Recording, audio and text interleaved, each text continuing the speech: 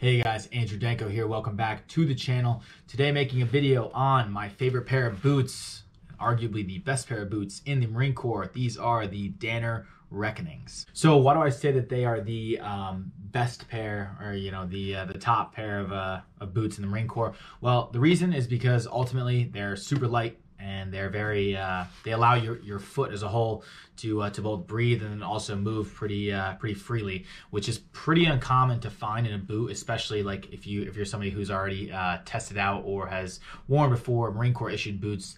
They're pretty sturdy, pretty um, pretty heavy, and that's of course for you know the support of your ankle, um, you know, and just the foot as a whole, which I can certainly respect.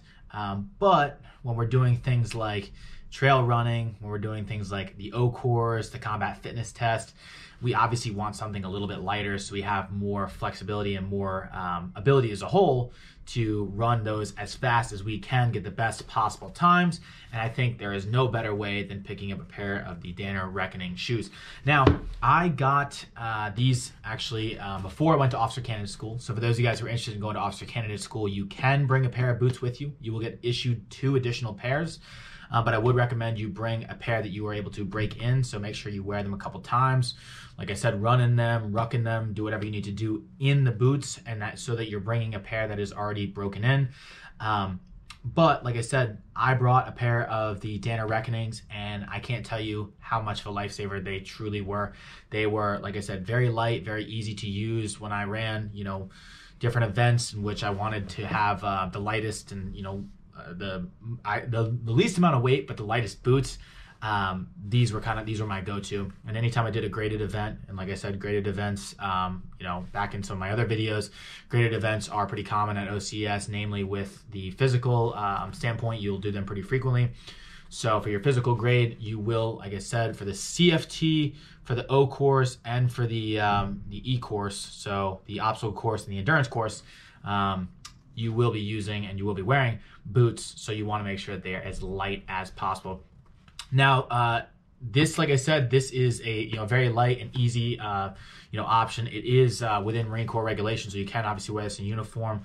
You guys can see that there, but the uh, EGA is printed there.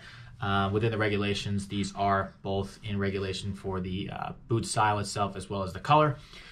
Um, so again, like I said, look into getting a pair of these. Um, alternatively, I believe there's another uh, another brand. It's it's Bates. I think they're called Bates Lights. I don't really know much about them, but that's like just a secondary option if you guys aren't um, gonna get a pair of these. But I would recommend, like I said, the Danner Reckonings. One thing I will mention is that they are pretty dang expensive, so try to buy them used if you can. So I think retail they're like two hundred and seventy dollars or something like that, which is kind of outrageous for a pair of boots.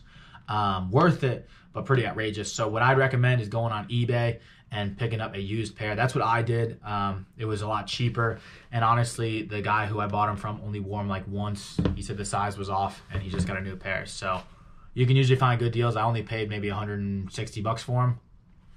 Um, you know, and even if you buy a used pair that's a little bit tattered, that's quite all right too if you want to use them for training. Um, obviously, just you know, goes without saying, don't be wearing a tattered pair of boots in uniform. Uh, appearance is number one, whether you're going to officer candidate school or you're in the fleet. Um, you know, obviously we want to look the part whenever we are in the Corps. So, um, so like I said, just take that into account.